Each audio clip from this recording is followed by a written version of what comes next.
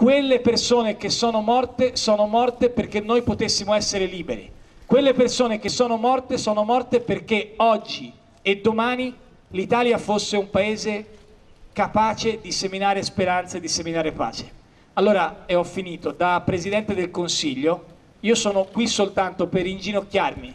di fronte alla storia del nostro Paese e per dire però tutti insieme che questa storia ci deve insegnare a non perdere mai i nostri valori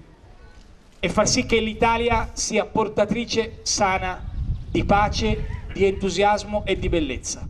Abbiamo bisogno che nel ricordo della resistenza di questi giganti che hanno dedicato la vita e qualcuno di loro è dovuto morire, pensate alle lettere dei condannati a morte della resistenza, quanti brividi fanno venire a ciascuno di noi, nel loro ricordo costruiamo un'Italia più bella,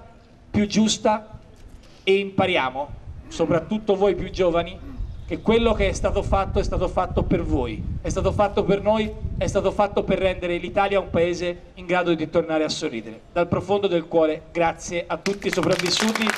alle comunità e alla città di Marzabotto.